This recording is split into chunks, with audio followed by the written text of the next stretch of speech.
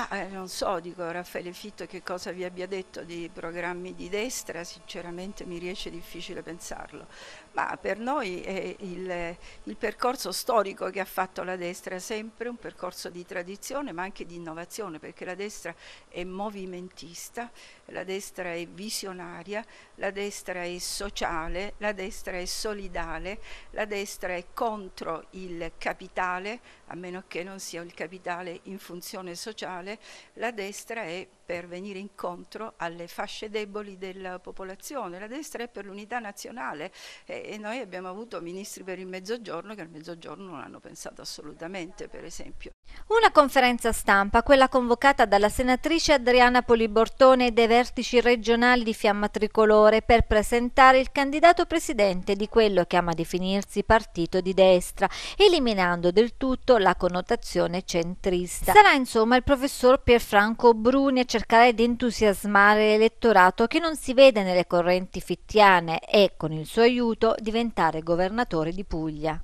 Ma voi siete il reale centrodestra o un'alternativa al centrodestra? Siamo chiaramente un'alternativa al centro e a una destra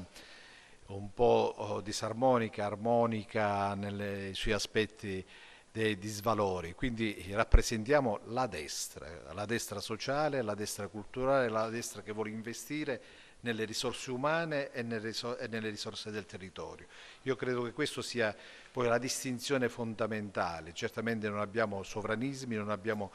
eh, realtà di confronto con altri aspetti e con altri valori. Partiamo da questo presupposto, la vera destra sociale, culturale è questa da me rappresentata in questa campagna elettorale.